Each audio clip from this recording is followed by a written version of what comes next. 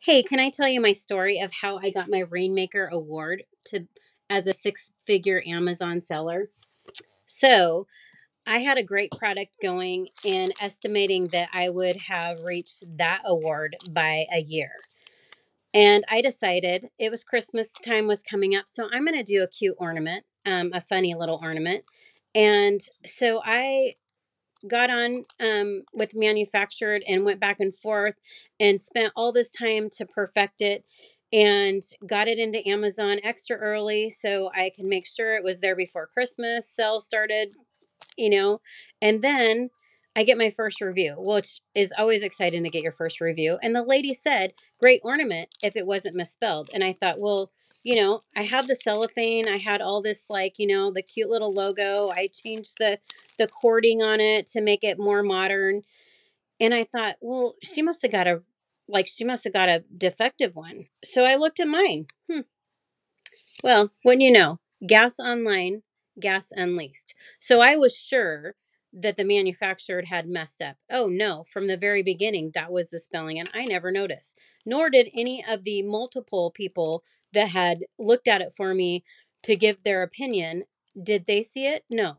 The first person that bought it so, saw it. So I was like, I go to the in, inner circle retreat, no sleep. I'm like beside myself. I talked to the manufacturer and I said, I'm just going to have to throw these all away. Amazon's not going to let me sell these. And so when I was there, they said, "Well, your pictures show it. There's nothing you're being misleading. Why don't you just show change a listing?" So great idea. I decided to change a listing, and I put something about, um, you know, with the high gas prices, you uh, miss the details and um, you don't see the misspelling or something along that line. You know, I sold every single fifth all 1500 of those and I got more from the manufacturer in the correct one. So I ended up selling um, close to 3000.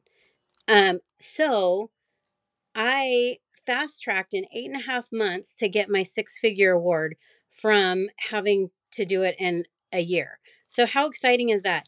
This darn ornament, who would have thought that it would have it would have launched me into a six figure Amazon seller. So, yes, I can say I am now a six figure Amazon seller because of this darn ornament.